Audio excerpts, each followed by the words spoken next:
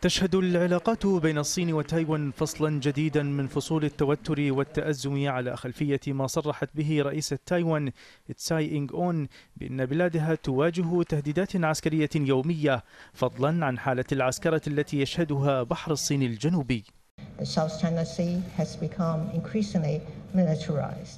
لقد أصبح بحر الصين الجنوبي معسكرا بشكل متزايد. تايوان تتلقى تهديدات عسكرية بشكل يومي وستواصل تايوان العمل مع الأصدقاء وتشكيل شراكات مع حلفائها لا سيما الولايات المتحدة واليابان وجمهورية التشيك.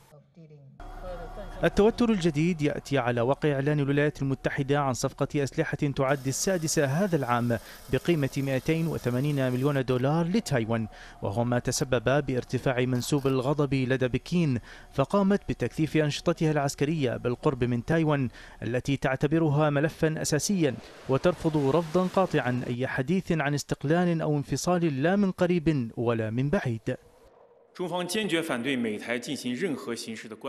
تعارض الصين بشدة أي شكل من أشكال الاتصالات العسكرية بين الولايات المتحدة وتايوان. إن جهود اعتماد الحكومة التايوانية على القوات الأجنبية ومقاومة إعادة التوحيد بالقوة العسكرية ستذهب سدى. لن نسمح أبدا لأي قوة بالتعدي أو تقسيم أراضينا.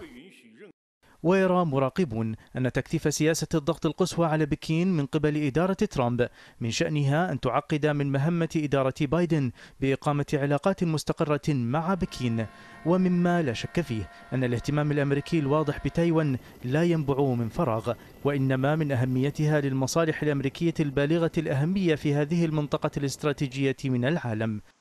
لذا ستبقي الولايات المتحدة على دعمها لتايوان طالما ظلت هذه الأخيرة بمثابة الورقة الرابحة للضغط على التنين الصيني وحصاره خلال الفترة المقبلة.